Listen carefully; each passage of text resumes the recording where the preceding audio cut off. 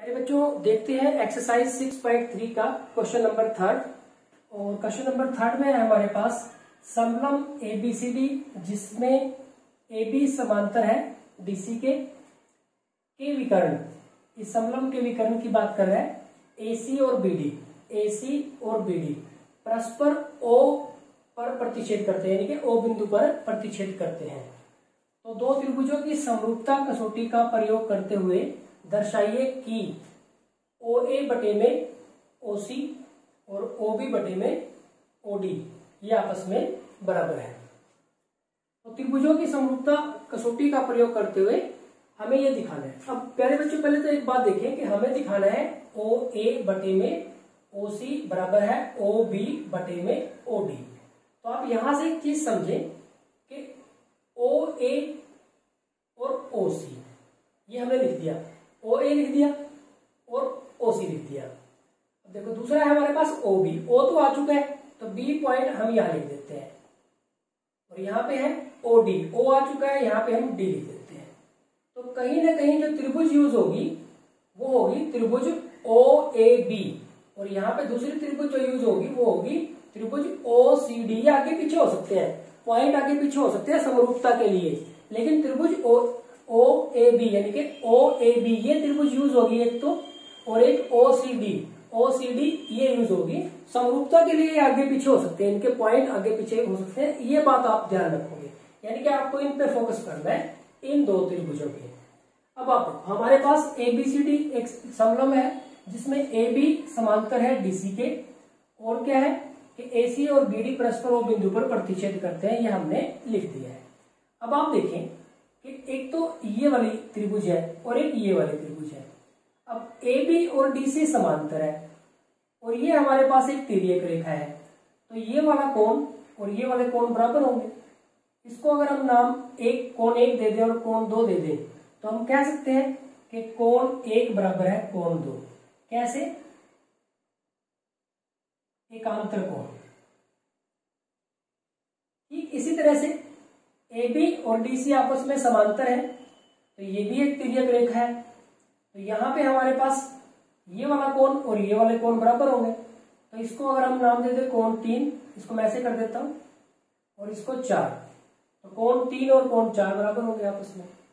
और ये देखो, ये वाला कोण और ये वाला कोण तो बराबर ही है आपस में, क्योंकि शीर्षाभिमुख कोण है। इसको मैं अगर नाम दे दू कोण पाँच और इसको नाम दे दू कोण छ तो ये भी बराबर हो जाएँगे हमारे पास।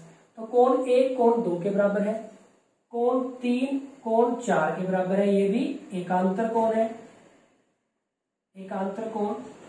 और कोण पाँच और कोण छ बराबर है। यह हमारे पास शीर्षाभिमुख कोण। अब हमें पता है कि एक त्रिभुज के तीन को दूसरी त्रिभुज के तीन संगत कोणों के बराबर है। तो त्रिभुजें कैसी होंगी? सर्वांग समरूप होंगे सर्वांग नहीं समरूप होंगी। तो यानी कि ये दोनों त्रिभुजें आपस में समरूप है। अब लिखेंगे देखो कैसे।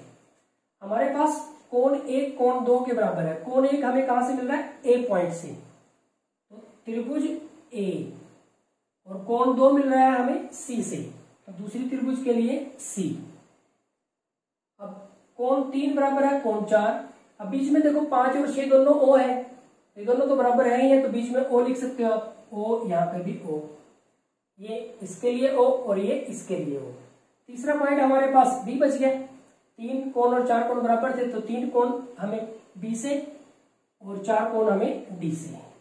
तो ये हमारे पास दो त्रिभुजें कैसी होगी? समरूप होगी। यहाँ पे हमारे पास दो त्रिभुजें समरूप होगी, क्योंकि तीन कोण हमारे दूसरी त्रिभुज के तीन कोणों के बराबर है क्रमशः। तो यहाँ पे हम क्या लिख सकते हैं कि कोण कोण कोण समरूपता कसौटी के अनुसार ये हमारे पास कहाँ से प्राप्त हुआ हमें? इस कसौटी से प्राप्त हुआ। अब देखो, त्रिभुज अगर समरूप है तो संगत भुजाएँ समानुपात में होगी। यानी कि ए ओ बटे में सी ओ। बराबर होगा? हमें जो प्रूव करना है वही ले लेते हैं। वैसे तो आप तीनों लिखना चाहो तो लिख सकते हो। ओ बी बटे में ओ डी बराबर है ए बी बटे में सी डी तो ये ले सकते हैं। अब जो हमें प्रूव करना है ओ ए ओ सी ओ बी ओ डी तो ये पार्ट है हमारा। इसमें से हम ले सकते हैं। ए ओ बटे में सी ओ बराबर है ओ बी बटे में ओ डी ए ओ को लिख देंगे ओ ए, इसमें कोई फ़र्क नहीं पड़ता। सी ओ को लिख देंगे ओ सी बराबर है ओ बी बटे में ओ डी। हैंस प्रूव यही हमें प्रूव करना था। तो बिल्कुल इजी क्वेश्चन है।